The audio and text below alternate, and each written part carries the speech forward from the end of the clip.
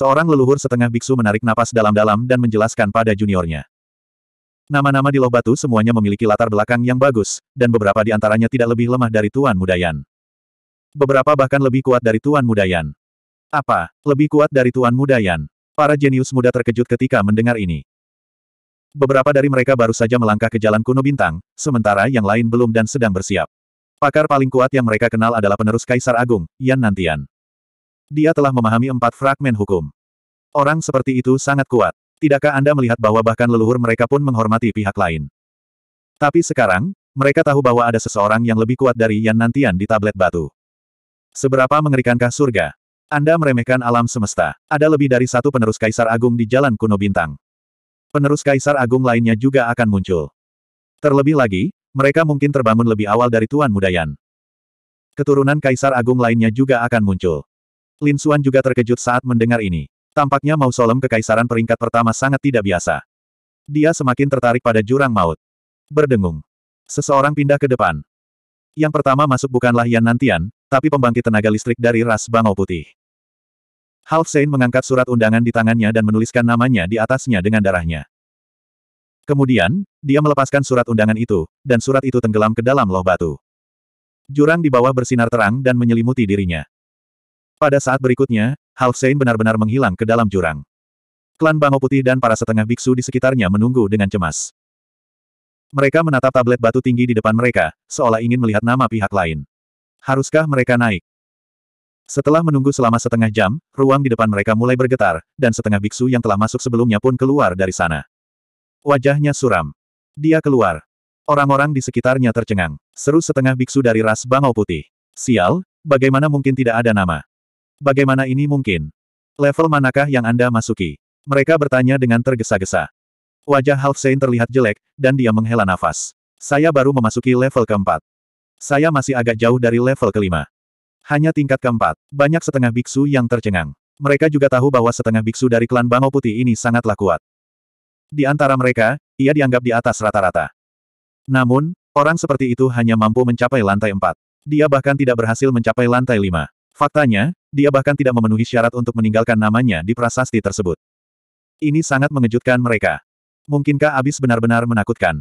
Di sisi lain, Lin Xuan menyipitkan matanya. Lantai empat tidak memiliki hak untuk mengukir nama mereka, jadi sepertinya lantai berikutnya adalah semacam tantangan. Dia menebak dalam hatinya. Aku akan pergi. Pada saat ini, seorang ahli muda dari klan Bangau Putih keluar. Dia tampak berusia 30-an dan memiliki aura yang kuat. Namun, usia sebenarnya sudah lebih dari 1500 tahun. Hanya saja dia punya cara untuk mempertahankan penampilan mudanya. Dia juga menggunakan darahnya untuk menuliskan namanya di surat undangan abis. Kemudian, dia meletakkan surat undangan tersebut di atas prasasti batu. Kemudian, tubuhnya juga memasuki jurang di bawah.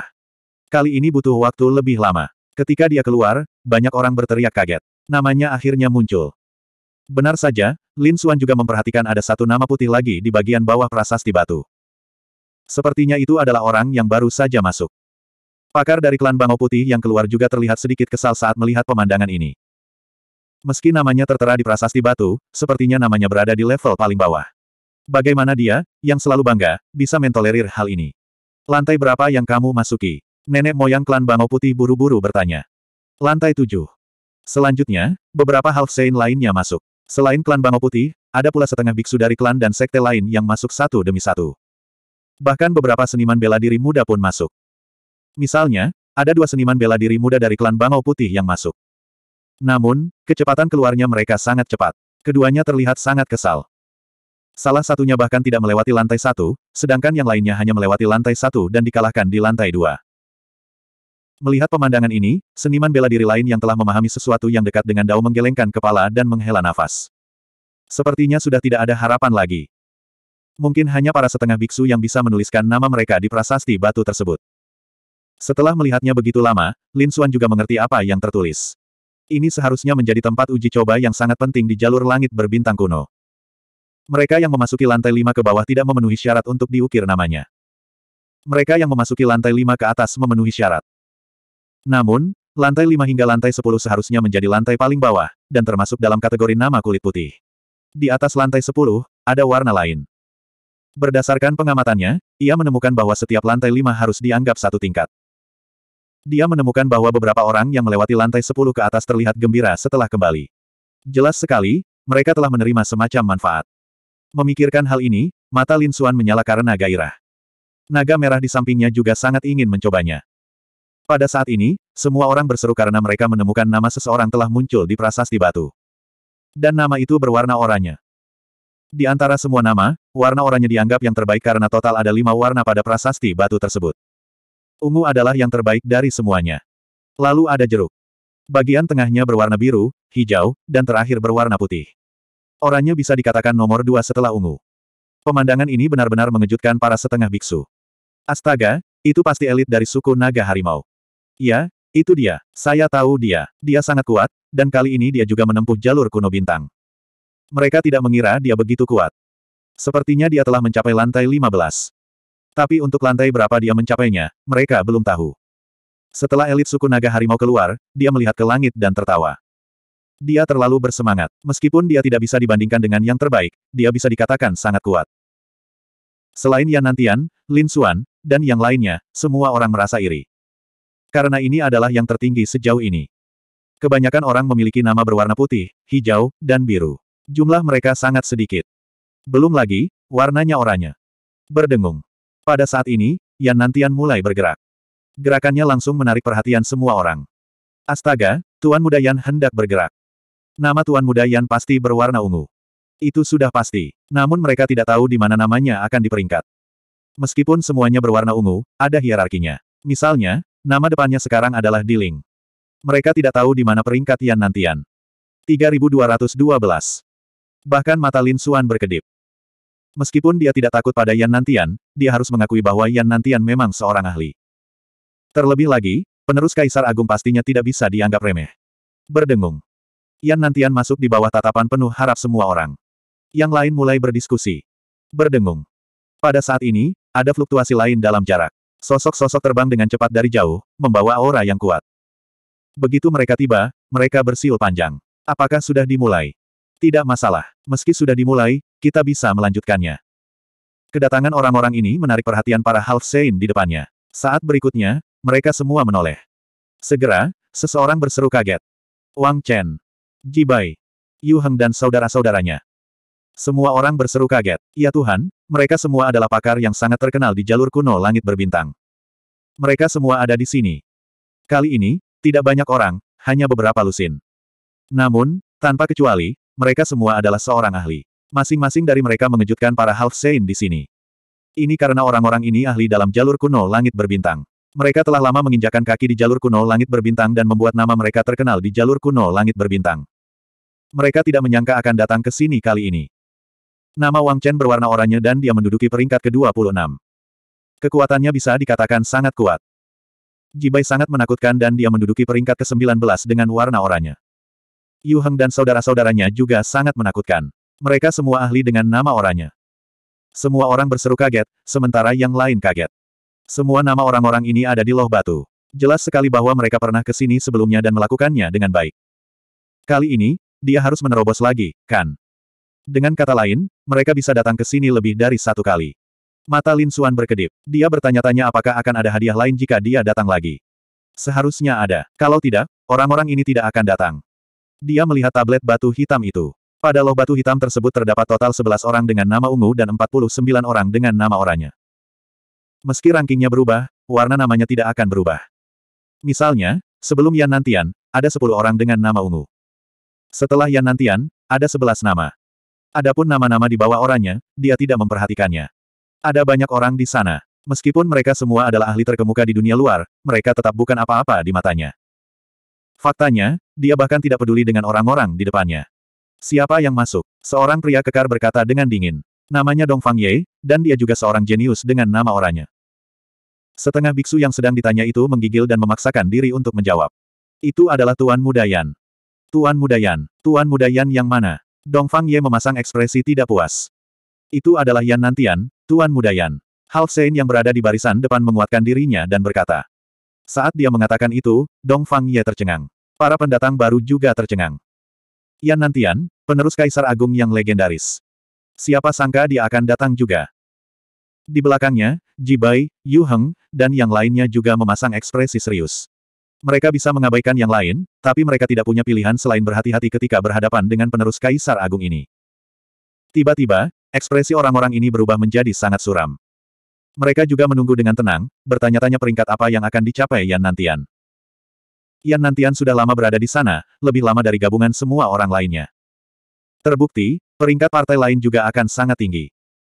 Sekarang, para ahli ini sudah mengetahui bahwa Yan Nantian seharusnya bisa mendapatkan nama ungu.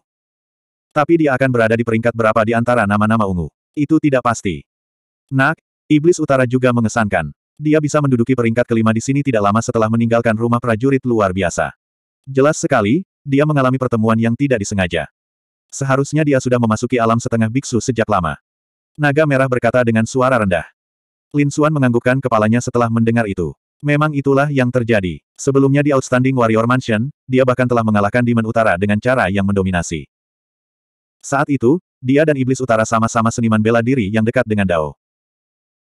Tak disangka, bukan hanya dia telah menjadi seorang setengah biksu dalam waktu sesingkat itu, namun Iblis Utara juga telah menjadi seorang setengah biksu. Tampaknya semua orang jenius ini mengalami pertemuan yang tidak disengaja. Namun, Lin Xuan yakin bahwa dia tidak akan kalah dari siapa pun. Tidak peduli apakah itu Iblis Utara atau Yan Nantian. Yan Nantian belum keluar. Saat ini, suara lain datang dari langit. Semua orang menoleh untuk melihat. Setengah biksu di sekitar mereka gemetar. Aura yang menakutkan. Jibai, Wang Hao, dan yang lainnya menyipitkan mata. Liu Mu, itu kamu. Anda di sini juga. Suara orang-orang ini bergetar.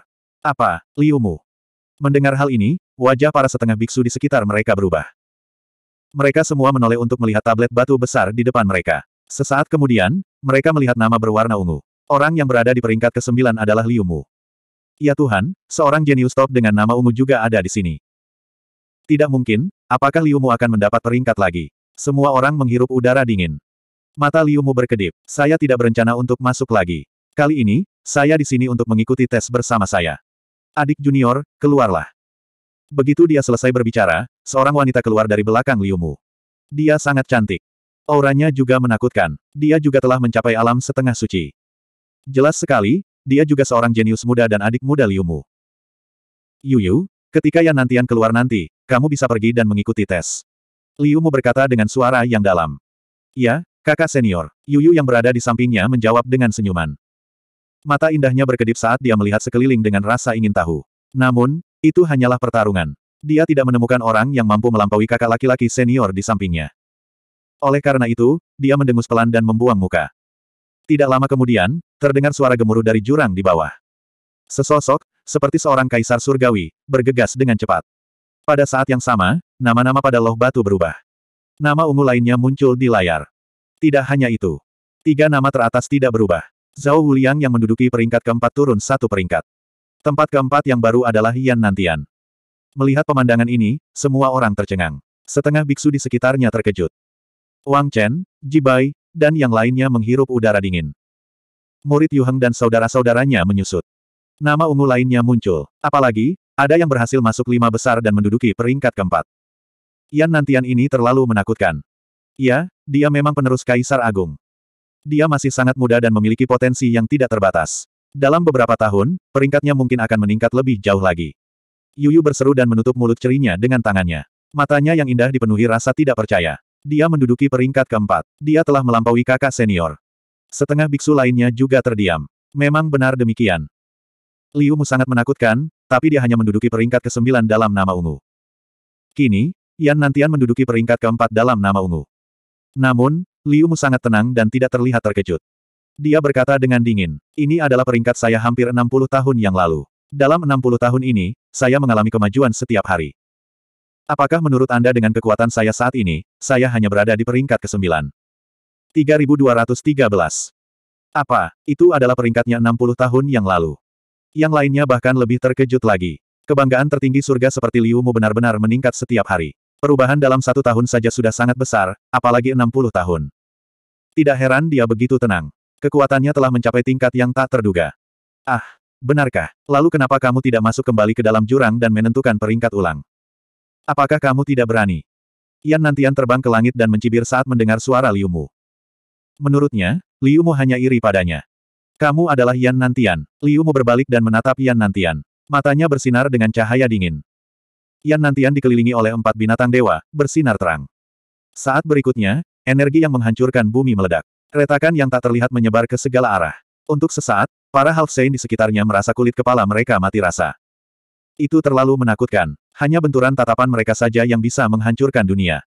Jika keduanya bertengkar, mereka semua akan mendapat masalah. Apakah kamu penerus Kaisar Agung? Meskipun kamu berbakat dan beruntung, kamu masih terlalu muda. Liu meletakkan tangannya di belakang punggung dan berkata dengan bangga. Saya punya alasan untuk tidak melakukan pemeringkatan ulang. Saya takut menjadi sasaran. Apakah kamu pikir aku takut padamu? Saat Xiao Chen mengatakan itu, banyak setengah sage menjadi bingung. Takut menjadi sasaran orang lain. Siapa itu? Apakah ada orang yang ditakuti Liu Mu? Mereka bingung.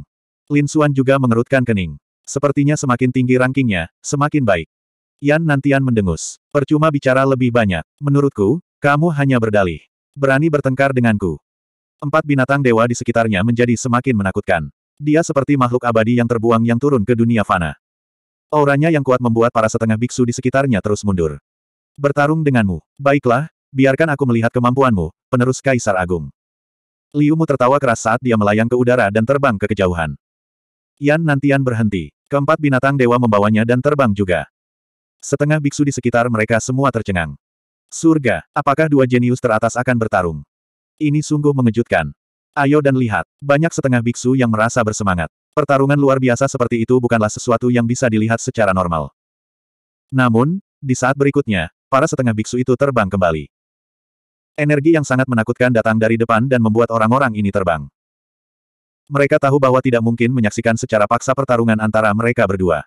Kecuali jika ada seorang sage atau ahli jenius dengan kekuatan serupa, barulah mereka dapat menyaksikan pertempuran tersebut. Hal ini membuat mereka merasa sangat menyesal. Bahkan Wang Chen, Jibai, dan yang lainnya menjadi pucat. Gelombang kekuatan itu membuat hati mereka bergetar. Namun, ada beberapa orang di antara mereka yang melayang ke angkasa. Mereka menggunakan alat semi sage, formasi, dan harta magis yang kuat untuk menerobos. Masih ada sebagian orang yang tertinggal untuk mempersiapkan ujian mendatang. Tatapan Lin Xuan seperti pelangi saat dia melihat ke kejauhan. Namun, dia segera mengalihkan pandangannya. Dia tidak pergi menonton pertempuran itu. Ini karena dia juga sangat penasaran dengan jurang di bawah. Sekarang dia memiliki undangan ke jurang maut di tangannya, dia tentu saja ingin masuk dan mengalaminya. Karena mereka tidak bisa menyaksikan pertarungan antara Yan Nantian dan Liu Mu, mereka hanya bisa menyerah. Dia mulai menghadapinya dengan sekuat tenaga, dan tes berikut akan dilakukan. Setelah orang-orang yang jatuh ke dalam jurang keluar, semua mata tertuju pada Yuyu. Ini karena Liu Mu mengatakan bahwa dia akan membiarkan Yuyu mengikuti tes setelah orang-orang di dalam keluar. Meski ada orang lain yang ingin masuk, mereka tidak berani melakukannya saat Yuyu tidak bergerak. Peri Yuyu, giliranmu. Wang Chen, Jibai, dan yang lainnya berkata. Mata indah Yuyu bersinar saat dia melihat ke kejauhan. Tidak perlu terburu-buru, aku ingin menunggu lebih lama lagi. Jantung Wang Chen dan yang lainnya berdetak kencang. Mereka menemukan bahwa Yuyu sedang melihat ke kejauhan tempat Yan Nantian dan Jibai bertarung. Sepertinya dia mengkhawatirkan kakak seniornya. Bagaimanapun, lawannya adalah penerus Kaisar Agung. Kalau begitu, aku tidak akan menahan diri. Anak tertua dari tiga bersaudara Yu Heng tertawa dan ingin memasuki jurang di bawah. Pada saat yang sama, mata Wang Chen dan Ji Bai tajam. Mereka bertiga bergerak, ingin memanfaatkan kesempatan itu. Namun, di saat berikutnya, mereka tercengang. Ini karena mereka menemukan ada sosok yang lebih cepat dari mereka. Dia sudah memasuki jurang di bawah. Sial, apa yang terjadi? Bagaimana orang ini bisa begitu cepat? Wang Chen mengerutkan kening. Di sampingnya, seorang Half Saint berseru. Tidak, anak itu sepertinya sudah bergerak pagi-pagi sekali sebelum Peri Yuyu berbicara. Apa, anak ini berani bertarung dengan Peri Yuyu untuk mendapatkan tempat? Dia tidak tahu apa yang baik untuknya. Memang benar, bertarung dengan Peri Yuyu untuk mendapatkan tempat berarti melawan Liu Mu. Apakah anak ini benar-benar ingin mati? Anak tertua dari tiga bersaudara Yu Heng langsung meraung. Peri Yuyu, aku akan menjatuhkan orang ini untukmu.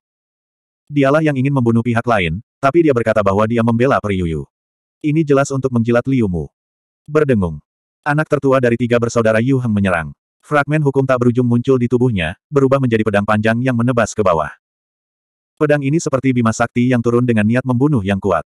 Ia ingin membagi angka di bawah menjadi dua. Oh tidak, pedang sungai yang berangkat. Banyak orang berseru. Ini adalah langkah terakhir dari ketiga bersaudara Yu Heng. Langkah pertama mereka adalah langkah mematikan. Jelas sekali mereka ingin membunuh orang di bawah. Namun, apakah orang di bawah ini begitu mudah untuk dibunuh? Ketiga Yu Heng bersaudara tidak mengetahui siapa dirinya, namun para setengah biksu di sekitar mereka mengetahui siapa dirinya. Sebelumnya, dia berani menantang klan Bangau Putih dan membunuh tiga keajaiban terbaik mereka di depan umum. Orang kejam seperti itu pastinya tidak bisa dianggap enteng. Memang benar, di bawah, Lin Xuan mengerutkan kening, dan cahaya dingin keluar dari matanya. Karena dia sudah menerima undangan tersebut, dia tentu harus turun dan menguji dirinya sendiri. Adapun kata-kata Liu Mu, dia tidak memasukkannya ke dalam hati. Siapakah Liu Mu? Siapa yang berani menghentikannya di jalan yang ingin diambilnya? Namun, ada seseorang yang tidak mengetahui apa yang baik untuknya dan berani menghentikannya. Lin Xuan menoleh dan melambaikan tangannya. Fragmen hukum tak berujung menari di depannya, membentuk celah spasial besar yang langsung menelan cahaya pedang yang menakutkan. Kamu berani menghentikanku, Lin Xuan berkata dengan dingin.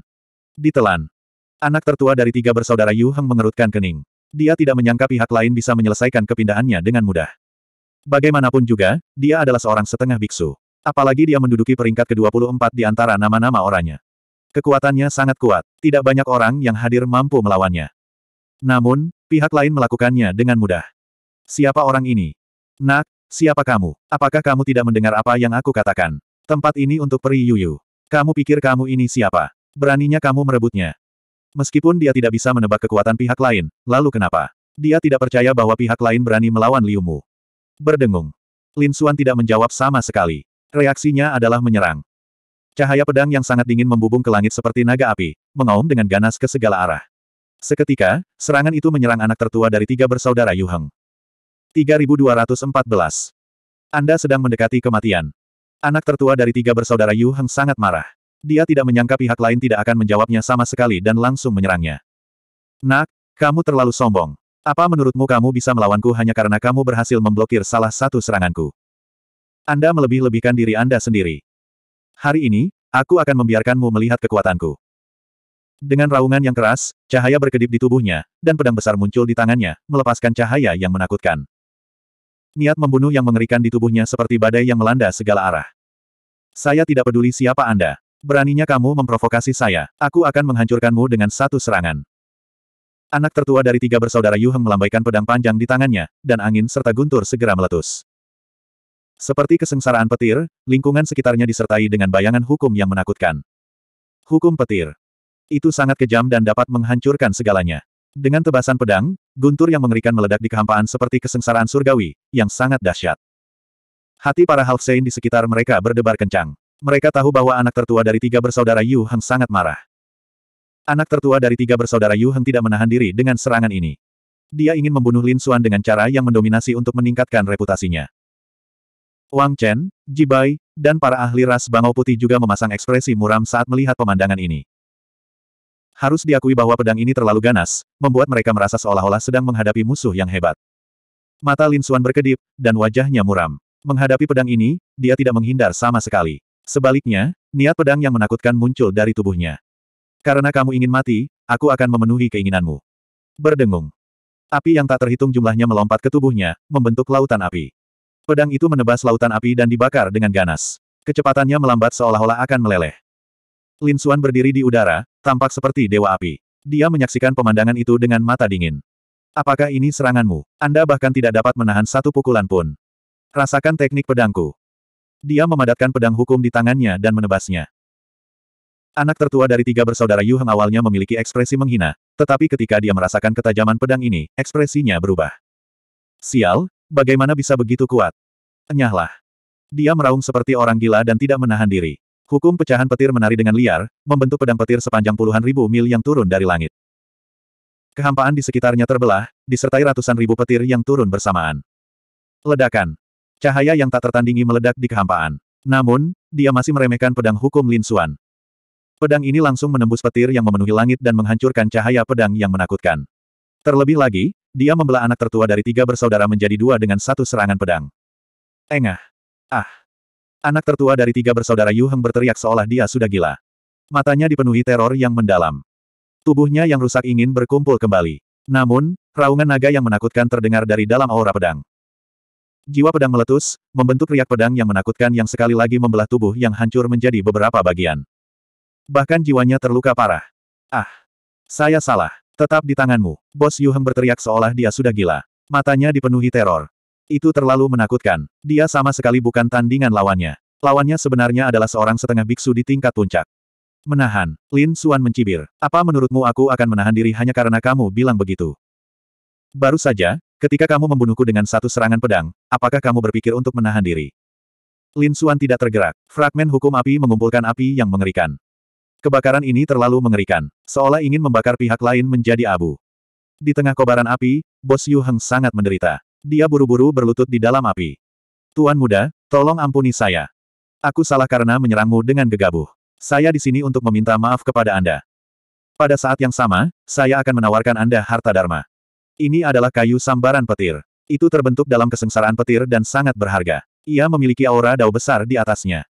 Aku akan memberikannya padamu sekarang sebagai ganti nyawaku. Kakak laki-laki. Saudara laki-laki kedua dan ketiga dari keluarga Yu Heng juga sangat marah. Mereka bergegas seolah-olah mereka sudah gila. Kakak, ayo bergabung. Saya tidak percaya kita tidak bisa membunuhnya. Keduanya meraung seperti sudah gila. Tapi bos Yu Heng dengan cepat mengirimkan suaranya. Berhenti, jangan gegabah. Kami bertiga memang bisa membunuhnya jika kami bergabung. Tapi saat kalian berdua menyerang, aku mungkin akan dibunuh olehnya. Jadi, tunggu aku keluar dulu, baru tangani bocah ini. Mendengar transmisi bos, kakak kedua dan ketiga menghentikan langkah mereka. Mata mereka mekar dengan kemarahan yang mengerikan saat mereka menatap lekat-lekat pada Lin Xuan. Alis Lin Xuan berkedut. Kayu sambaran petir. Dengan lambaian tangannya, dia meraih bagian dari Lightning Strike Wood. Kemudian, dia melihat ke arah bos yang sedang berlutut di udara dan berkata dengan dingin. Kali ini, aku akan menyelamatkan hidupmu. Lain kali kamu berani tidak menghormatiku, aku akan langsung menghancurkan tubuh dan jiwamu. Ruzilong, hal ini seharusnya bermanfaat bagimu. Lin Xuan berbalik dan menyerahkan Lightning Strike Wood ke Crimson Dragon. Setelah naga merah menerimanya, dia menyeringai. Haha, memang mengandung kekuatan petir. Bagus, bocah, aku akan menerima hal ini tanpa ragu-ragu. Naga merah mengembangkan hukum petir. Kayu sambaran petir ini sangat berguna baginya. Sosok Lin Xuan berubah, dan dia dengan cepat turun menuju jurang di bawah. Segera, dia menghilang dari pandangan semua orang. Bos, kamu baik-baik saja. Saudara Aliot kedua dan ketiga bergegas mendekat. Wajah bos Aliot sangat pucat. Dia segera memulihkan tubuhnya dan menelan pil. Di sisi lain, setelah Lin Xuan jatuh ke dalam jurang, dia diselimuti oleh aura putih keabu-abuan. Di saat yang sama, aura putih keabu-abuan di depannya membentuk liontin giok yang tersangkut di antara alisnya.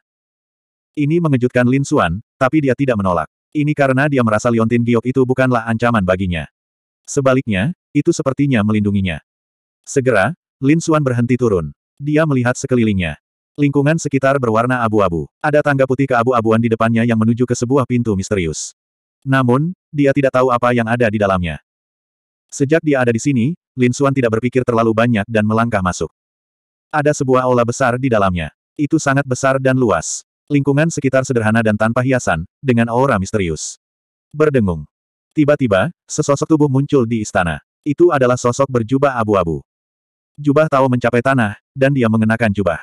Mustahil untuk melihat seperti apa rupanya. Dia hanya bisa melihat sepasang mata yang tampak berkedip-kedip dengan cahaya dingin, seperti Willow, The Wiz.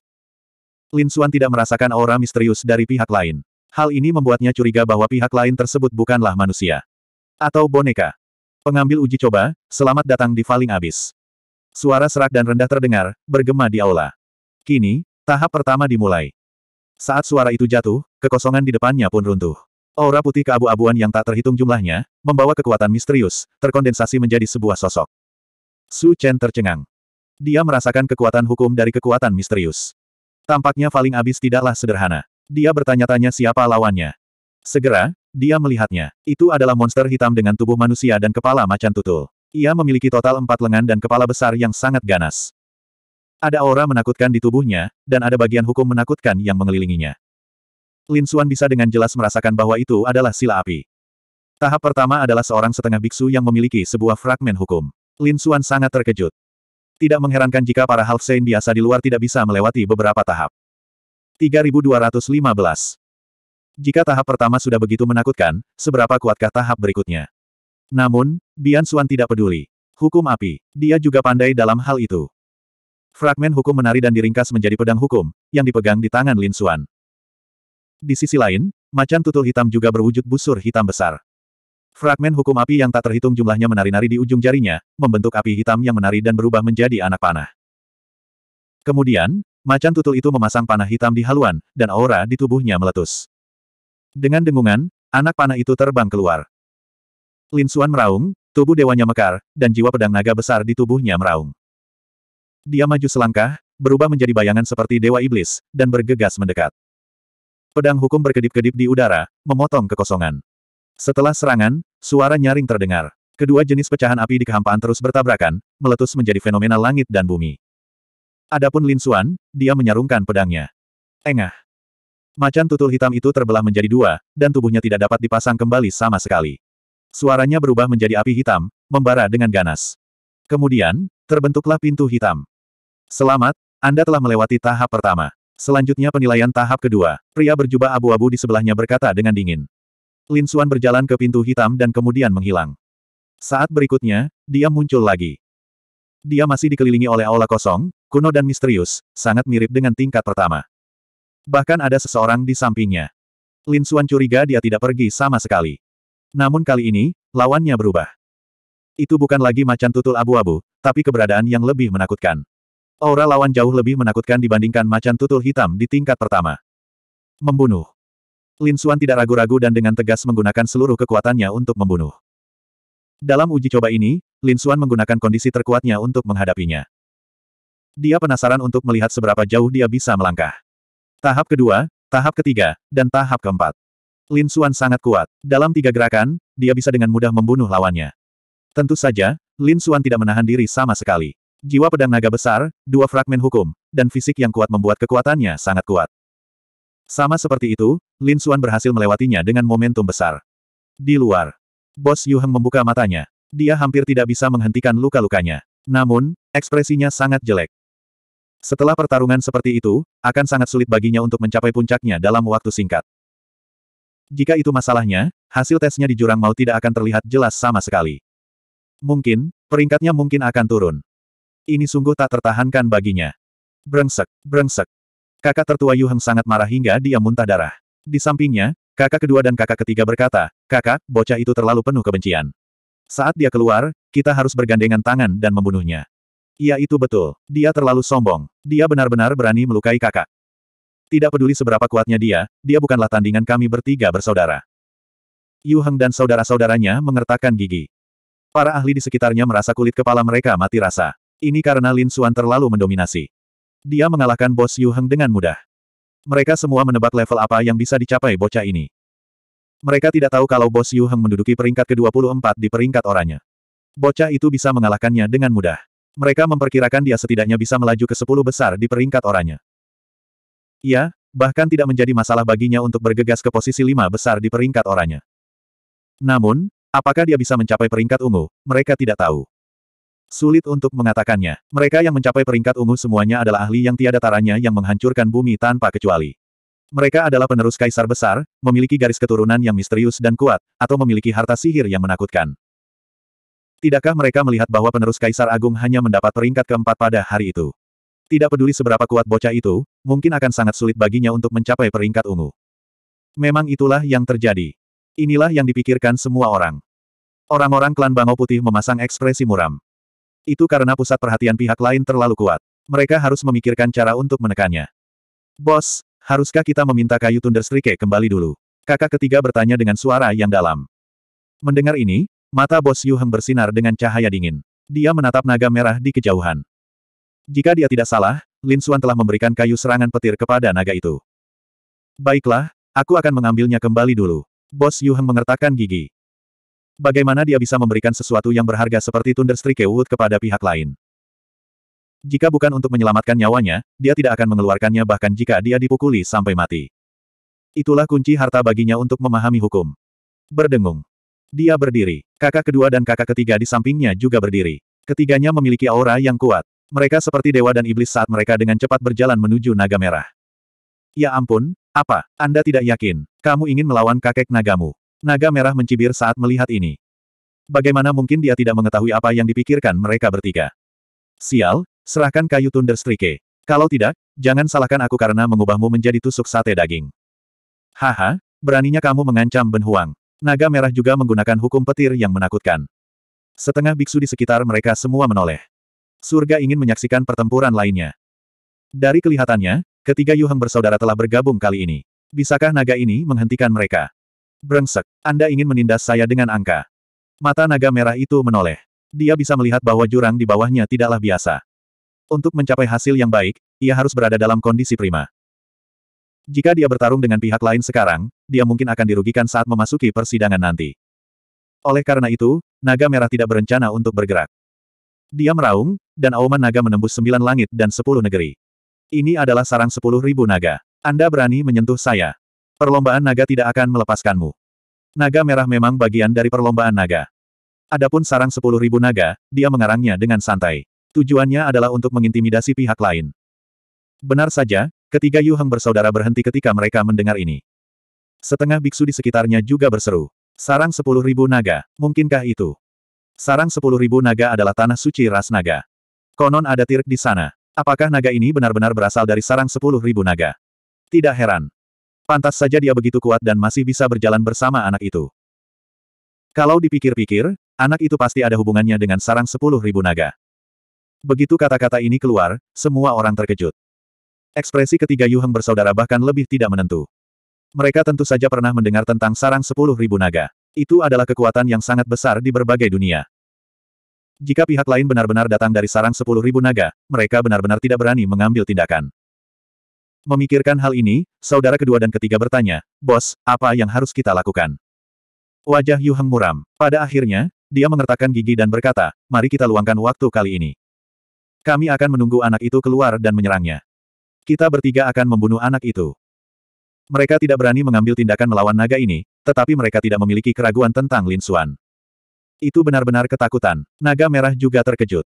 Dia mengatakan sarang sepuluh ribu naga dengan santai. Lagi pula, sarang sepuluh ribu naga hanya ada di dunia roh sejati. Dia bertanya-tanya apakah orang-orang di berbagai dunia telah mendengarnya. Tapi sekarang sepertinya pihak lain sudah mendengarnya. Terlebih lagi, sarang sepuluh ribu naga seharusnya menjadi keberadaan yang sangat menakutkan di mata orang-orang ini. Mungkinkah selain dunia roh sejati, ada juga sarang sepuluh ribu naga di berbagai dunia, dan itu adalah keberadaan yang sangat menakutkan. 3216 Naga merah tidak bisa memahaminya untuk saat ini, tapi itu masuk akal. Klan naga memiliki garis keturunan yang menantang surga dan warisan yang menakutkan. Di mana pun mereka berada, mereka adalah kekuatan mutlak. Tidak ada keraguan tentang hal itu. Itu sebabnya pihak lain sangat menakutkan. Tanpa ancaman di sampingnya, naga merah benar-benar lega. Dia menatap Faling Abis, bertanya-tanya seberapa jauh Lin Fan bisa melangkah. Faling Abis, tingkat kelima. Lawannya kali ini adalah seekor naga, seekor Pterosaurus terbang. Ia melebarkan sayapnya, membawa kekuatan yang menakutkan. Pterosaurus ini telah menguasai hukum angin. Saat ia mengepakkan sayapnya, ilusi muncul di seluruh langit. Apalagi kecepatannya sangat cepat. Itu hampir bisa mencapai sisi Lin Xuan dalam sekejap dan menyerang Lin Xuan lebih dari seratus ribu kali. Kecepatan yang sangat cepat. Lin Xuan mengandalkan tubuh sembilan matahari untuk menahan serangan ini. Kehampaan bergetar dan guntur bergemuruh. Darah di tubuhnya mendidih, lalu berubah menjadi bayangan naga dan melesat ke langit. Kecepatan yang sangat mengerikan. Kecepatan ini bahkan lebih cepat dibandingkan dengan Half Saint Black Bat sebelumnya. Namun, Lin Xuan tidak takut. Tubuhnya sangat kuat, jadi dia tidak takut dengan kecepatan ini sama sekali. Dia bisa menghadapinya secara langsung. Pada saat yang sama, dua jenis kekuatan hukum melonjak dan menebas ke depan. Hukum api sangat mengerikan, menyelimuti seluruh ruangan. Di sisi lain, hukum pemusnahan mengubah semua serangan menjadi abu. Di bawah serangan menjepit kedua kekuatan, Lin Xuan membunuh Pterosaurus. Berdengung. Lin Xuan menarik napas dalam-dalam, dan fragmen hukum di seluruh langit kembali ke tubuhnya. Pada saat ini, pria berjubah abu-abu di sebelahnya dengan lembut mengangkat tangannya dan bertepuk tangan. Selamat, Anda telah melewati tahap pertama. Diiringi tepuk tangan, sebuah pintu abu-abu muncul lagi di hadapannya. Lin Xuan masuk tanpa ragu-ragu. Saat berikutnya, dia diteleportasi lagi.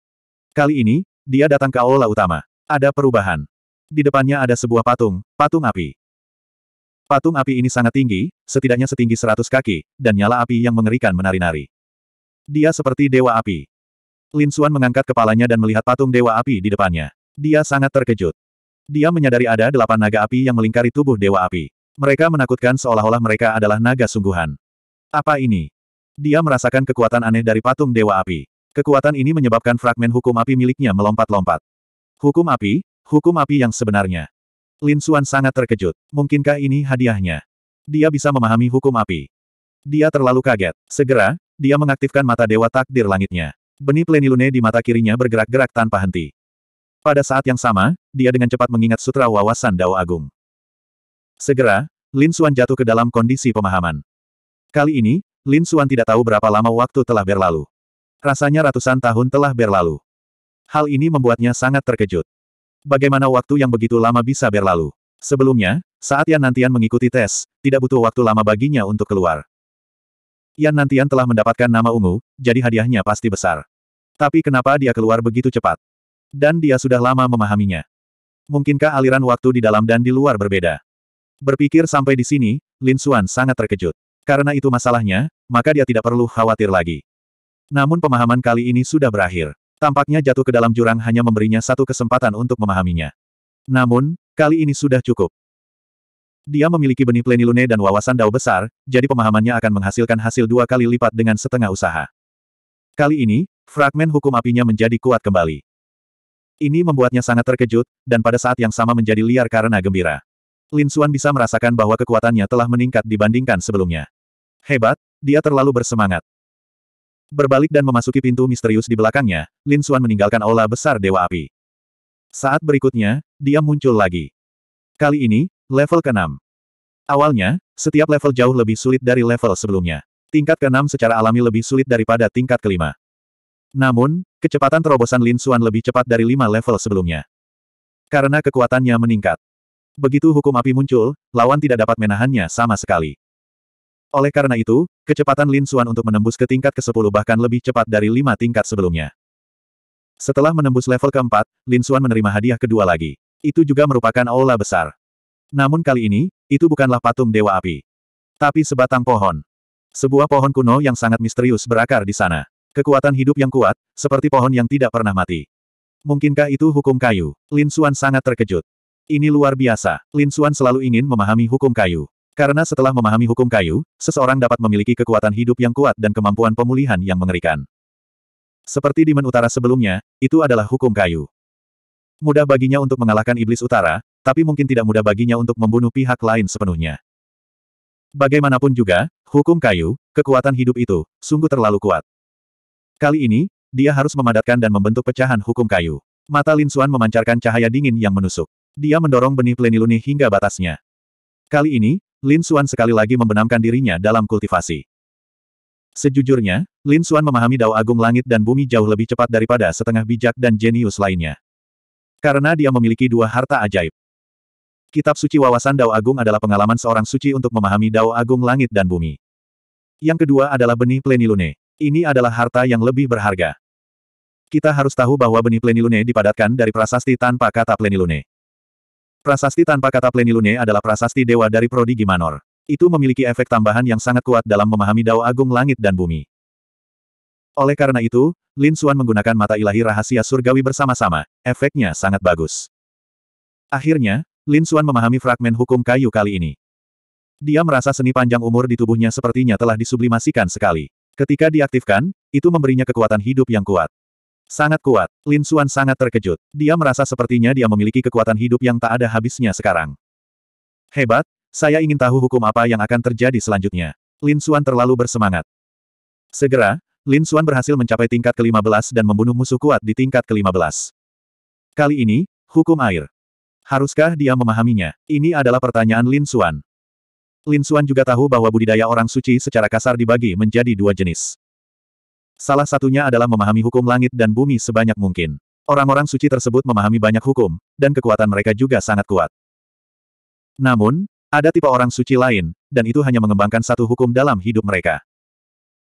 Meskipun sage semacam ini hanya memahami beberapa hukum nomologis, hukum yang satu ini sangat kuat dan telah mencapai tingkat yang tak terduga.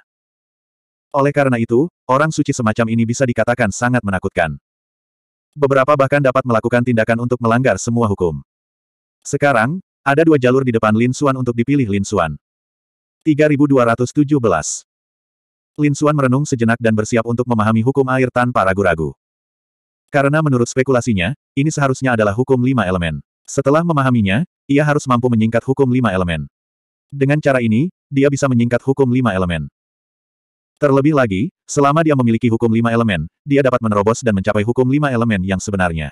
Dengan cara itu, kekuatannya akan meningkat secara eksponensial. Selain itu, Lin Xuan memiliki benih plenilune dan kitab suci wawasan Grandao. Jika dia menyerah sekarang, sayang sekali. Oleh karena itu, Lin Xuan sekali lagi mencoba memahami hukum air. Setelah beberapa tahun yang tidak diketahui, Lin Xuan memadatkan hukum fragmen air. Setelah hukum fragmen air terbentuk, Lin Xuan telah memahami empat hukum lima elemen. Meskipun kekuatan serangannya kuat dan ganas, ada juga semacam kelembutan. Dapat dikatakan bahwa kombinasi kekerasan dan kelembutan sekali lagi meningkatkan kekuatan serangannya.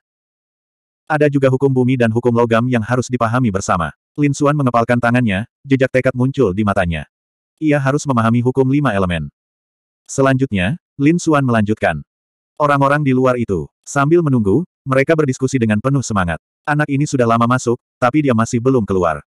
Dia tidak akan memasuki lantai 20, kan? Seseorang menebak. Tidak mungkin, kan? Dia benar-benar bisa memasuki lantai 20. Itu tidak mungkin. Mungkinkah dia juga memiliki kualifikasi untuk masuk daftar nama ungu? Saat berita ini keluar, semua orang gempar. Ada total 11 nama ungu di Loh Batu, dan masing-masing dari mereka adalah seorang jenius yang tiada taranya yang menggemparkan dunia. Kekuatan mereka sangat menakutkan. Sekarang, akan ada yang baru. Wang Chen, Jibai, dan yang lainnya memasang ekspresi serius. Yu Heng dan saudara-saudaranya sangat gugup.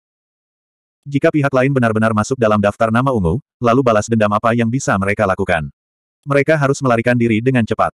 Namun, ketiganya tidak pergi. Karena mereka bertaruh. Mereka tidak percaya bahwa Lin Xuan bisa masuk ke daftar nama ungu. Mungkin waktu yang dibutuhkannya untuk lulus ujian lebih lama. Mereka hanya bisa menghibur diri mereka sendiri seperti ini. Jatuh ke dalam jurang. Lin Xuan masih melewati lantai 20. Kali ini, dia menggunakan waktu yang tidak diketahui jumlahnya untuk memahami hukum lima elemen. Hukum fragmen bumi. The Falling Abyss terlalu misterius. Itu pasti berisi hukum waktu. Terlebih lagi, saya tidak bisa merasakan perubahan apa pun pada tubuh saya. Setelah Lin Xuan keluar dari Aula Dewa Bumi, dia sangat kagum. Mungkin hanya hukum waktu yang bisa mencapai prestasi seperti itu. Terlebih lagi, itu pastilah hukum waktu yang sangat mendalam. Tampaknya ada keberadaan yang sangat kuat di balik jurang ini. Siapa yang membangun tempat ini? Setelah tahap ke-20, kesulitan meningkat secara eksponensial, jauh melebihi tahap sebelumnya. Mulai sekarang, dia harus bisa mendapatkan nama ungu. Tidak heran hanya ada sedikit nama ungu. Mata Lin Xuan berkedip saat dia melihat lawannya untuk tahap 21. Pada tahap ke-21, lawannya sangat aneh. Itu adalah pedang, pedang emas yang panjang. Pedang panjang itu membawa niat membunuh yang dingin dan menggigit. Seperti pedang dewa, hal itu menyebabkan seluruh ruang hampa bergetar. Begitu dia muncul, retakan besar muncul di seluruh langit. Cahaya pedang yang menakutkan langsung menyelimuti Lin Xuan. Lin Xuan melepaskan bagian dari hukum bumi untuk menciptakan pertahanan yang sangat kuat di sekelilingnya. Pada saat yang sama, Pedang hukum terbang keluar. Ledakan. Keduanya bertabrakan di udara, menghasilkan suara dentang. Itu tidak rusak. Lin Xuan terkejut. Dia menemukan bahwa pedang emas itu terlempar, tetapi tidak retak. Ini terlalu mengejutkan baginya. Kita harus tahu bahwa kekuatannya saat ini sangat kuat. Bahkan seorang Half Saint biasa akan terbelah dua oleh serangannya. Tapi sekarang, pedang panjang itu baik-baik saja. Saya bisa merasakan jejak hukum logam. Tidak heran itu sangat sulit. Hukum logam terutama menyerang dan sangat sulit. Diduga, pedang panjang itu terbentuk dari pecahan hukum logam. Itu hebat. Biarkan saya merasakan betapa kuatnya hukum logam. Mata Lin Xuan meledak dengan cahaya dingin yang menusuk. Dia mengacungkan pedang hukum dan segera bergegas. Tahap ke-21, tahap ke-22, tahap ke-23. Akhirnya, Lin Xuan tiba di tahap ke-25. Tahap ke-25 adalah seorang pria berjubah emas. Seluruh tubuhnya sepertinya terbuat dari emas murni. Dia memiliki pedang panjang emas di tangannya. Di pedang panjang itu, rune lau yang tak terhitung jumlahnya berkumpul. Berayun dengan lembut, pedang ki itu seperti kilat emas, menembus kehampaan. Ekspresi Lin Xuan serius. Dia merasakan bahaya yang besar. Tahap ke-25 sangat kuat. Dia terkejut. Berdengung. Pedang ki, seperti guntur ilahi yang mengejutkan, menebas ke arahnya, membelah kehampaan. Bahkan fragmen hukum bumi di depan Lin Xuan terpecah. Ini mengejutkan Lin Xuan. Pedang ini terlalu kuat. Membunuh. Lin Xuan memadatkan pedang hukum dan bergegas mendekat. Pertarungan keduanya berlangsung sangat sengit. Seluruh ruangan benar-benar hancur, dipenuhi dengan hukum yang menakutkan. Untungnya, ini adalah Falling Abyss, yang sangat misterius. Kalau tidak, jika berada di luar, mungkin akan hancur hingga puluhan juta mil. Berdengung. Lin Xuan memblokir serangan lawan dengan pedang. Dia mengulurkan telapak tangannya. Di ujung jarinya, ada hukum air yang menakutkan, berputar dan mengalir. Itu tampak seperti gelombang dahsyat, menutupi langit dan bumi saat melonjak ke depan. Lampu pedang emas itu menebas ombak, tapi tidak pecah. Sebaliknya, mereka tenggelam semakin dalam. Laut yang mengerikan itu tidak memiliki jejak dan sangat lembut. Air laut langsung menelan semua pedang Ki. Berdengung. Namun, pada saat ini, cahaya menusuk muncul dari mata pria berjubah brokat. Lampu pedang emas itu tiba-tiba bersinar terang. Lampu pedang yang semula ditelan air laut juga meletus, keluar dari air seperti naga emas. Air laut yang memenuhi langit terbelah, dan beberapa pedang Ki bertabrakan dengan tubuh Lin Xuan. Dentang. Pedang Ki ini bertabrakan dengan tubuh Lin Xuan, menghasilkan suara yang menghancurkan bumi. Darah di tubuh Lin Xuan bergejolak, dan beberapa retakan muncul di tubuhnya. Dia meraung, dan tubuh sembilan yang ilahi menunjukkan kekuatannya. Pada saat yang sama, fragmen hukum kayu memberikan vitalitas yang kuat. Retakan di tubuhnya langsung sembuh. Penghancuran. Lin Xuan melambaikan tangannya, dan fragmen hukum pemusnahan melonjak, bekerja sama dengan fragmen hukum air. Keduanya mulai menghancurkan cahaya keemasan di langit. Pria berjubah emas di seberangnya mulai melakukan serangan balik. Seolah-olah ada kekuatan tak berujung di tubuhnya, pedang emas itu berubah menjadi naga emas yang mengaum. Hal ini menyebabkan tubuh Lin Xuan bergoyang lagi. Lin Xuan meraung panjang, dan roh pedang naga besar meraung. Dia tahu bahwa ini adalah musuh yang kuat. Dia tidak berani menahan diri. Segala jenis serangan hukum, dikombinasikan dengan kemampuan ilahi yang hebat, melonjak ke depan, ingin menekan pihak lain. Berdengung. Akhirnya, Lin Xuan menerobos pedang emas Ki yang memenuhi langit dan tiba di depan pihak lain. Dia menebas dengan pedangnya, menusuk ke arah tubuh pihak lain. Dengan dentang, suara gemuruh lainnya terdengar.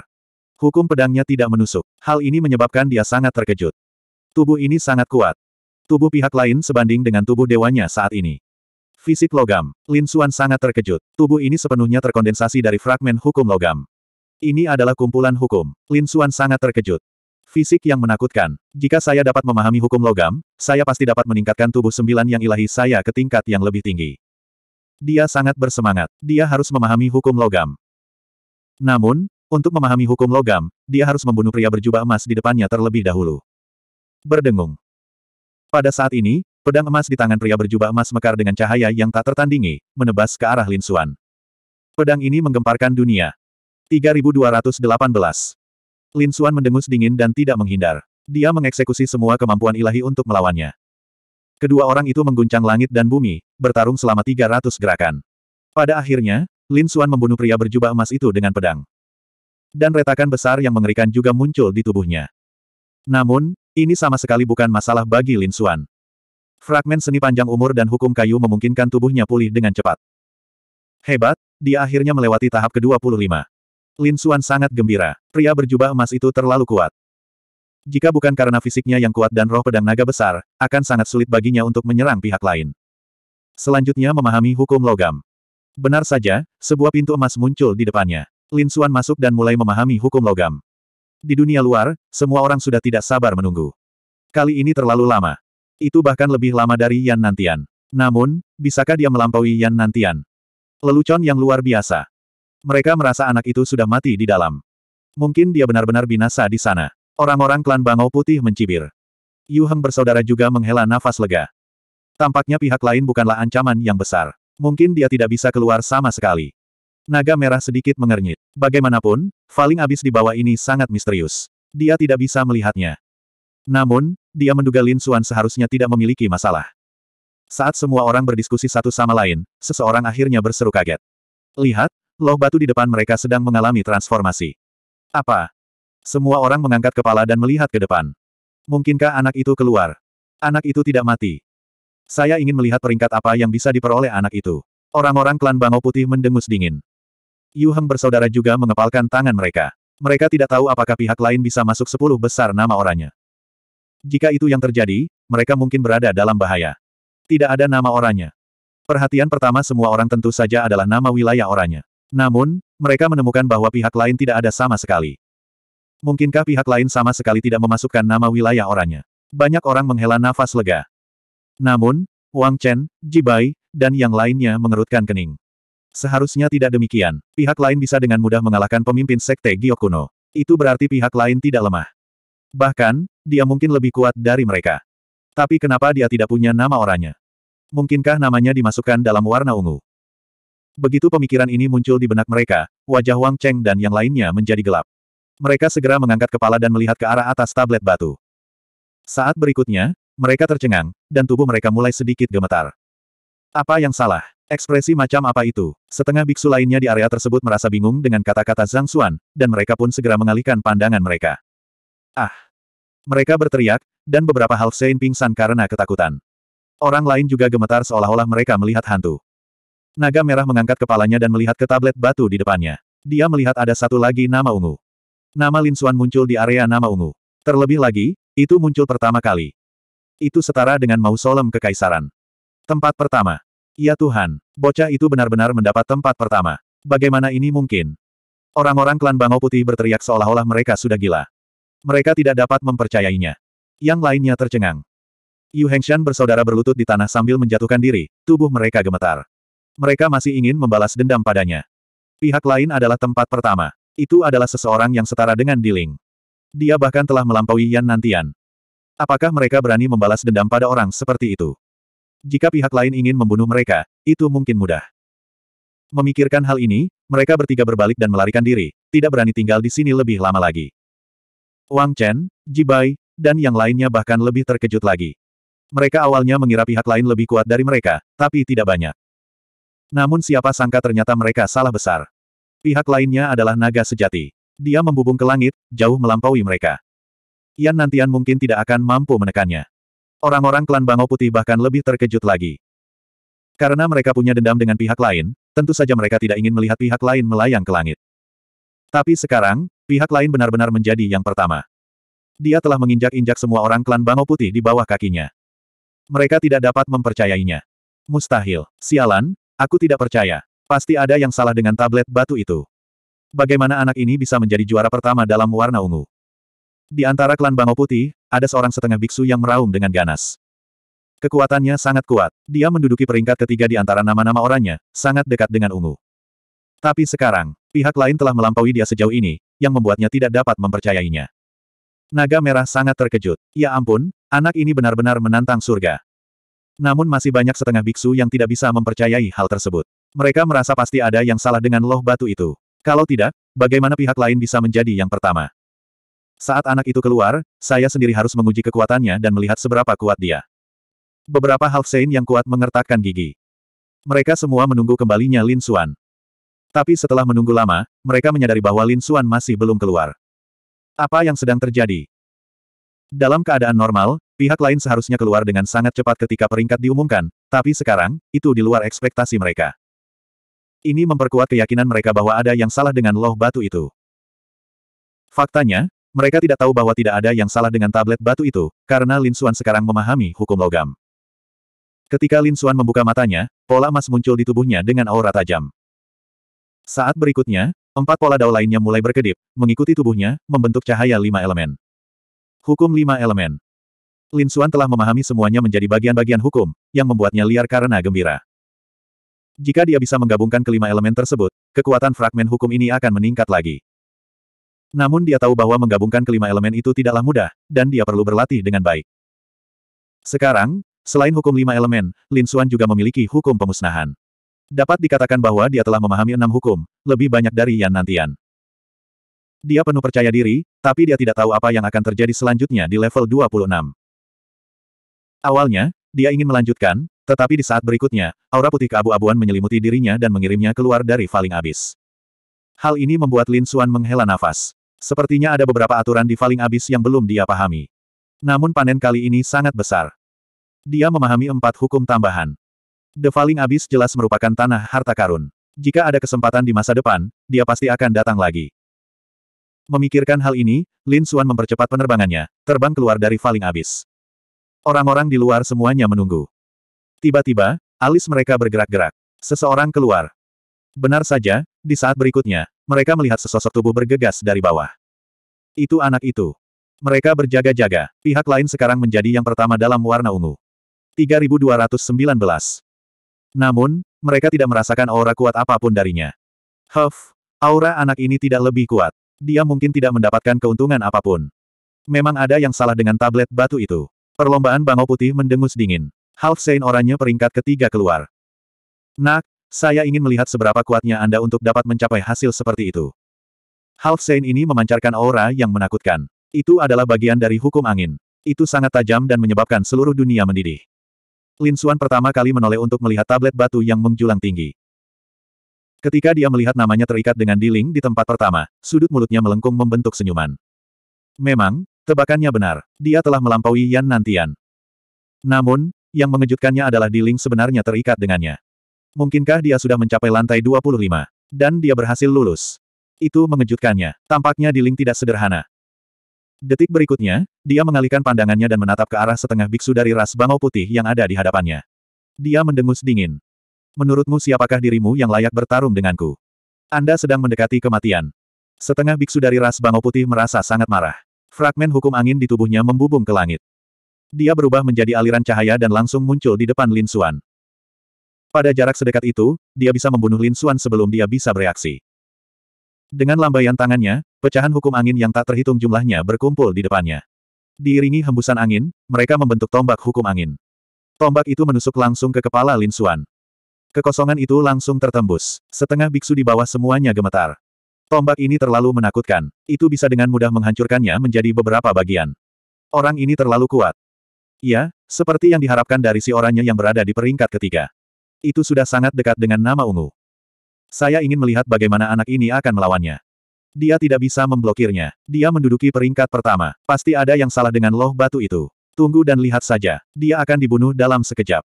Melihat tombak yang begitu tajam, Lin Xuan menyipitkan matanya. Memang tidak buruk, tapi tidak bisa berbuat apa-apa padanya. Dia bisa menghadapinya dengan tenang sebelumnya, apalagi sekarang dia telah memahami empat bagian baru dari hukum angin.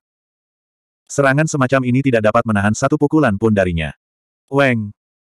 Dengan lambaian lengan bajunya, fragmen hukum biru yang tak berujung menari, membentuk lautan mengerikan yang menyelimuti tombak. Tidak baik. Ekspresi setengah langkah Sage of the White Crane Rache berubah seketika. Dia merasa seolah tombaknya tenggelam ke dalam rawa. Kekuatan dahsyat itu ingin menelannya. Weng. Pada saat yang sama, tangan Lin Xuan yang lain bergerak. Dia mengulurkan jarinya dan menunjuk ke depan. Fragmen hukum logam berkumpul membentuk pedang emas yang menebas ke depan. Dengan keras, setengah sein dari klan Bangau Putih berhasil ditembus. Ah! Jeritan darah yang mengental terdengar saat darah dari seorang Half Saint tumpah. Tubuh Half Saint terjatuh ke tanah dengan ledakan keras. Orang-orang di sekitarnya tercengang. Tidak. Orang-orang klan Bangau Putih berteriak seolah-olah mereka sudah gila. Tidak kusangka salah satu Half Saint terbaik di ras mereka akan terluka parah oleh satu jari dari pihak lain. Ini terlalu sulit dipercaya. Apakah pihak lain sudah begitu menakutkan? Half Saint lainnya sangat ketakutan hingga mereka mengompol. Nomor satu, pihak lain pasti memiliki kekuatan untuk menjadi nomor satu. Pada saat ini, tidak ada yang berani meragukan Lin Xuan. Siapa yang masih ingin bertarung denganku? Lin Xuan bertanya dengan dingin sambil berdiri dengan tangan di belakang punggungnya. Pandangannya menyapu ke segala arah. Segera, para Half Saint di sekitarnya menundukkan kepala mereka. Tidak ada yang berani menatap matanya.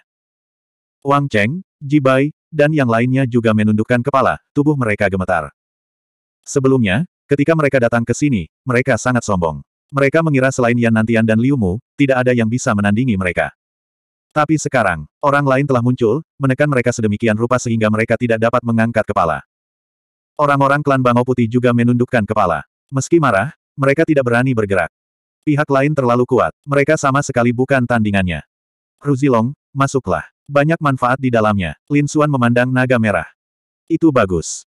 Naga merah mengayunkan ekornya dan bergegas turun untuk mengujinya. Setelah naga merah pergi, Lin Xuan melihat ke kejauhan. Terjadi pemandangan yang menggemparkan. Hukum yang mengerikan sedang terbang. Apakah kedua orang itu belum selesai bertengkar? Dia secara alami tahu bahwa orang yang bertarung di kejauhan adalah Yan Nantian dan Liu Mu. Baiklah, mari kita uji pada keduanya. Mari kita lihat seberapa kuat saya sekarang. Hati Lin Xuan dipenuhi dengan kebanggaan. Setengah biksu di sekelilingnya bukanlah tandingannya. Faktanya, dia bahkan tidak tertarik untuk melawan mereka. Namun, Yan Nantian dan Liu Mu berbeda. Mereka sangat kuat. Berdengung. Lin Xuan mengambil langkah maju. Tubuhnya bersinar terang. Seperti dewa perang, dia merobek kehampaan dan bergegas ke kejauhan. Astaga, apa yang dia coba lakukan? Di situlah tempat Yan Nantian dan Liu Mu bertarung. Apakah dia akan menonton pertempuran itu? Seru para Half Saint di sekitarnya. Beberapa dari mereka sudah mulai berkumpul di depan. Lin Xuan memang pergi ke tempat keduanya bertarung. Namun, dia tidak ingin menyaksikan pertempuran itu. Dia ingin bertarung. Di depannya, Yan Nantian tampak serius. Dia awalnya berpikir bahwa dia dapat dengan mudah menekan pihak lain karena dia berada di peringkat keempat dan pihak lain berada di peringkat kesembilan. Dia bahkan bisa mengalahkan pihak lain. Tapi sekarang sepertinya dia memang sedikit ceroboh. Pihak lain sangat kuat. Partai lainnya menduduki peringkat ke-9 60 tahun yang lalu. Sekarang, dia sungguh tak terduga. Dia tidak bisa mengalahkan pihak lain dalam waktu singkat. Tentu saja, Yan Nantian hanya tampak serius. Dia tidak takut. Sebagai penerus Kaisar Agung, ia memiliki banyak kartu truf. Semuanya menyelamatkan nyawa, jadi dia tidak berencana menggunakannya sekarang. Yan Nantian, apakah Anda penerus Kaisar Agung? Menurutku, kamu biasa saja. Anda tidak layak menjadi penerus Kaisar Agung. Mengapa kamu tidak memberiku warisan Kaisar Agung? Aku bisa membuatnya bersinar. Liu Mu memegang tombak hijau panjang. Dia seperti dewa, memancarkan aura yang kuat. Huh. Apakah kamu benar-benar berpikir aku tidak bisa mengalahkanmu? Yan Nantian mendengus dingin dan membentuk segel lagi. Fragmen sila bergegas maju bersama dengan Terji. Keduanya saling bertukar pukulan. Itu sangat menggemparkan. Fragmen sila yang tak terhitung jumlahnya menari-nari di udara dan seluruh langit meledak. Setengah biksu di sekitarnya tidak berani mendekat. Mereka hanya bisa menonton dari jauh menggunakan teknik rahasia. Namun, pada saat ini, para setengah biksu di kejauhan semuanya tercengang. Bola mata mereka hampir keluar. Astaga, apa yang ingin dia lihat? Berpartisipasi dalam pertempuran. Mereka melihat sosok turun dari langit dan mendarat di medan perang antara Yan Nantian dan Liu Mu. Lin Xuan turun dari langit dan tertawa. Kalian berdua, apakah kalian belum selesai? Kalau begitu, aku akan berlatih bersamamu. Pedangnya yang kuat, Ki, menebas ke segala arah, langsung menyelimuti Yan Nantian dan Liu Mu. Yan Nantian dan Liu Mu tercengang. Kemudian, mereka sangat marah. Anda sedang mendekati kematian. Yan Nantian melambaikan tangannya. Tiba-tiba, Imperial Rune kuno muncul di langit seperti bintang yang mempesona. Fragmen sila yang mengerikan berkelap-kelip di Imperial Rune. 3220. Liu Mu memegang tombak hijau di tangannya dan menusukkannya. Cahaya tombak yang menakutkan menerangi sembilan langit dan sepuluh negeri. Dua jenius tak tertandingi menyerang bersama untuk melawan Lin Xuan. Ketika para setengah biksu di kejauhan melihat pemandangan ini, mereka hampir pingsan karena ketakutan. Ya Tuhan, Lin Wudi ini terlalu sombong. Dia sebenarnya ingin melawan mereka berdua sendirian. Jika ia adalah seorang half biasa, maka akan baik-baik saja jika ia bertarung satu lawan dua. Tapi siapa lawannya? Bisa jadi Yan Nantian dan Liu Mu. Salah satu dari mereka akan mampu menekan seluruh wilayah dan membuat mereka gemetar ketakutan. Sekarang, Lin Xuan sebenarnya ingin bertarung melawan dua ahli top pada saat yang bersamaan. Apakah dia tidak mencari kematian? Anak ini terlalu sombong. Iya, apakah dia benar-benar berpikir bisa melawan mereka berdua hanya karena dia mendapat tempat pertama? Belum lagi Yan Nantian yang merupakan penerus Kaisar Agung, hanya Liu Mu saja yang sudah sangat menakutkan. Jika Liu Mu berpartisipasi dalam uji coba jurang lagi, dia pasti bisa masuk tiga besar, atau bahkan tempat pertama. Di kejauhan, para Half Saint sedang berdiskusi. Mereka merasa Lin Xuan terlalu sombong. Lin Xuan, di sisi lain, tertawa terbahak-bahak. Raungan naga keluar dari tubuhnya. Dia mengepalkan tangan kirinya. Hukum api menyertai tinjunya dan berubah menjadi naga api, menghancurkan kehampaan. Itu bertabrakan dengan tanda kaisar kuno. Ledakan yang menghancurkan bumi memenuhi langit. Kekosongan itu hancur seolah-olah itu adalah akhir dunia. Di saat yang sama, tangan kanannya membentuk pedang hukum dan menebasnya. Hukum logam yang dipadukan dengan kekuatan jiwa pedang naga tidak dapat dihentikan. Dentang. Serangan ini menyebabkan para Half Saint yang menyaksikan pertempuran dari jauh terus-menerus mundur. Beberapa dari mereka bahkan muntah darah dan gemetar. Itu terlalu menakutkan. Energi yang dihasilkan saja sudah cukup untuk membuat mereka bergidik. Orang-orang klan Bangau Putih tercengang. Bisakah anak ini benar-benar bertarung melawan dua orang jenius sekaligus? Siapa dia? Brengsek. Yan Nantian meraung. Tatapannya seperti lampu ilahi yang menembus sembilan langit dan sepuluh negeri, menatap sosok di atas. Itu dia. Apa yang sedang terjadi? Bagaimana ini mungkin? Bagaimana dia bisa menjadi begitu kuat? Dia tidak bisa mempercayainya. Di sisi lain, Liu Mu memancarkan aura mengerikan. Dia juga menatap Lin Xuan dan bertanya dengan dingin. Siapa kamu? Lin Wudi. Suara Lin Xuan dipenuhi dengan keyakinan. Liu Mu mengerutkan kening. Beraninya dia menyebut dirinya tak terkalahkan. Itu terlalu sombong. Di saat yang sama, dia menerima pesan dari kakak mudanya. Kakak senior, orang ini baru saja menempati posisi pertama dalam peringkat ungu. Anda harus berhati-hati. Apa? Kali ini, Liu Mu benar-benar tercengang. Dia menatap pemuda di depannya lagi. Ungu peringkat pertama. Bagaimana dengan mausolem kekaisaran? Diling dan Lin Wu sama-sama menduduki peringkat pertama. Liu Mu benar-benar tercengang. Dia telah merasakan betapa kuatnya Diling. Sulit dipercaya bahwa pihak lain bisa berdiri berdampingan dengan Diling pada saat yang bersamaan. Tapi segera, dia mendengus dingin. Terus. Peringkat mausolem kekaisaran juga berasal dari lebih dari 100 tahun yang lalu. Terlebih lagi, diriku yang sekarang bukan lagi diriku yang sama seperti 60 tahun yang lalu. Jadi bagaimana jika dia nomor satu? Di mata Liu Mu, cahaya tajam dan terang muncul. Bocah, biarkan aku merasakan kekuatan seperti apa yang kamu, peringkat umum nomor satu, miliki. Liu Mu menyerang dengan tombaknya. Seolah-olah dunia akan hancur. Fenomena mengejutkan langit dan bumi menyertai tombak panjangnya. Berdengung. Lin Xuan memegang pedang hukum erat-erat di tangannya dan bertarung dengan lawannya. Setiap serangan menyebabkan retakan besar yang membentang jutaan mil. Seluruh langit hancur total. Di sampingnya, Yan Nantian juga kaget. Ungu peringkat pertama. Orang harus tahu bahwa dia hanya berada di peringkat keempat. Bocah ini sebenarnya menempati posisi pertama. Sungguh mengejutkan. Namun, apakah kamu pikir kamu bisa menekanku hanya karena kamu menduduki posisi pertama? Kamu terlalu naif. Pada tes sebelumnya, saya tidak menggunakan seluruh kemampuan saya. Mata Yan Nantian sangat dingin. Sebagai penerus Kaisar Agung, dia memiliki banyak cara yang tidak akan dia gunakan kecuali itu adalah pilihan terakhir. Meskipun pihak lain menempati posisi pertama, lalu kenapa? Yan Nantian tidak takut pada pihak lain. Saat berikutnya, dia meraung panjang. Sembilan rune kaisar yang menakutkan keluar dari tubuhnya dan mengelilinginya. Di bawah kakinya, ada bayangan empat binatang ilahi agung, yang membawanya seperti seorang kaisar surgawi. Dia melonjak ke langit dan dengan cepat maju ke depan. Telapak tangannya membentuk segel seolah dia akan menghancurkan seluruh langit berbintang. Bagus. Lin Xuan tertawa dan menebas dengan pedangnya. Pada saat yang sama, dia berbalik dan meninju. Tinju api yang mengerikan itu membakar dengan ganas dan seluruh langit tertutup api. Ledakan, ledakan.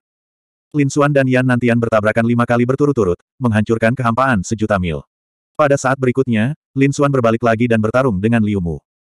Pertarungan antara ketiganya sangat menggemparkan. Para Half Saint yang menyaksikan dari jauh merasa tercengang. Kali ini, mereka secara langsung menyaksikan kekuatan Lin Xuan. Sekarang, tidak ada lagi yang berani meragukan nama Lin Xuan. Yan Nantian dan Liu Mu juga tampak serius. Keduanya bergabung tetapi tidak bisa mengalahkan pihak lain. Sial, apa kau memaksaku menggunakan kartu trufku?